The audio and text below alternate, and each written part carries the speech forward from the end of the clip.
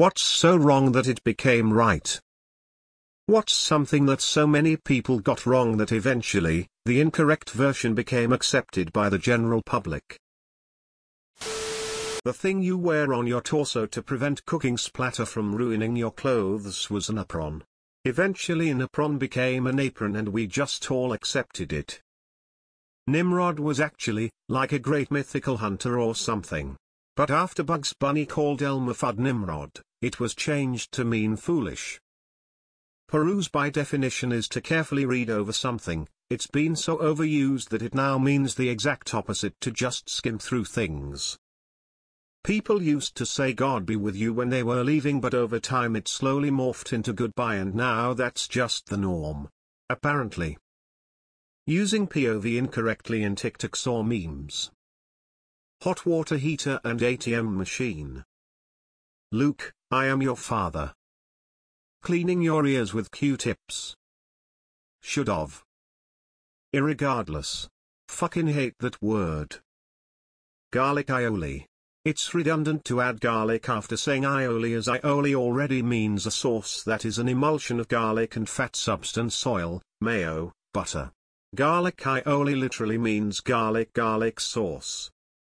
I could care less. And it aggravates me every time. Cussing in front of my mom. Literally. The phrase pull yourself up by your bootstraps was intended as a little tongue-in-cheek joke because it's literally impossible. And now it's used completely unironically. Figures. Pedants of Reddit, this is your moment.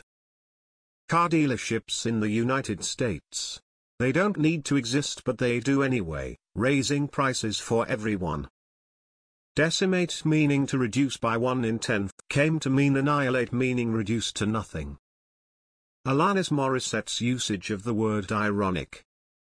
Using disinterested when they mean uninterested. Not the same thing. Uninterested is the one that means bored disinterested means not influenced by considerations of personal advantage. Pugs. Goldfish having 3 seconds memory. That ghosting is an acceptable way of separating in most cases. Saying I instead of me. Example This pic is of my husband and I. The actual grammatically correct is this pic is of my husband and me. RPG, rocket-propelled grenade, is the accepted common usage, but it's wrong. Rushnoi protivotankovy granatomot, actually means handheld anti-tank grenade launcher. Terms used in therapy settings Therapeutic language being used in everyday life. Everyone is not toxic or a narcissist. Nor should it be a trend to be neurodivergent thanks TikTok. Tipping culture in the US. Tipping. Responsibility for workers to make a livable wage should be on the employer, not the customer. Intents and purposes.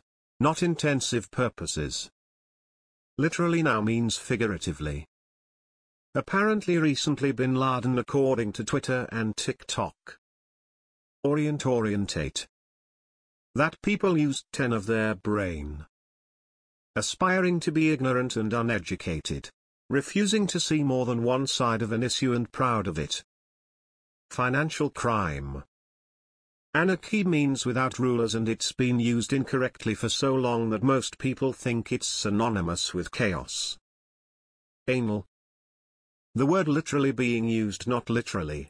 Now it's so used it's part of the fucking dictionary definition. Lots of linguistics stuff, because that's part of how languages evolve. I could care less is generally accepted even though it's nonsense. Putting an apostrophe before s when it's the last letter of a word and not possessive.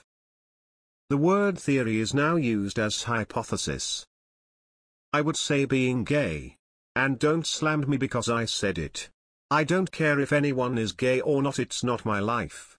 I'm just saying overall it has been not accepted and is moving into the being accepted category. Porn. Literally translated from Greek devil's pictures.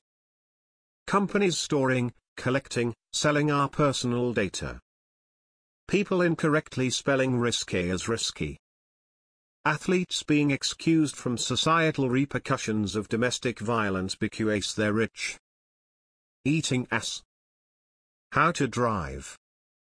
For a large and seemingly growing population of the country the US anyway, being racist bigoted ignorant and being proud of it.